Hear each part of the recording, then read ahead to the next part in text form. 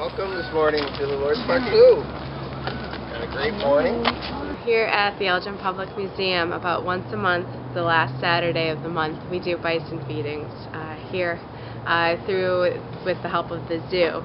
And um, we do them so that uh, we can kind of make the public more aware of what the animals need uh, who are still here at the park. Uh, we have bison, deer, and elk here. And so we meet at the museum for a brief introduction of the natural history of the animals. I call them bison, bison and not a buffalo. Do you know the difference? So bison have kind of some of these shorter horns, right? And the bison have that hump on the back.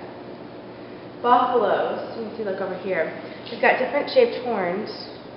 There's no hump. Then we walk down to the zoo as a group, and uh, there our zookeepers take over and they tell us a little bit more about the animals and what they need for their everyday care. Uh, fine ground corn, cornmeal, uh, some ground up alfalfa, but they also put in, like I said, the minerals and other uh, vitamins that they might need. Um, also as an enticement, uh, if you kind of, if you know, if you ever made like molasses cookies or anything, they also put in a little molasses in it that it attracts the animals that uh, and then we go ahead, we actually feed them as a group, um, especially with the bison. The, the kids in the group get to feed them with their cups, uh, with a cup full of feed, and, uh, and so they get a real kick out of it because you are about literally five inches away from the animals.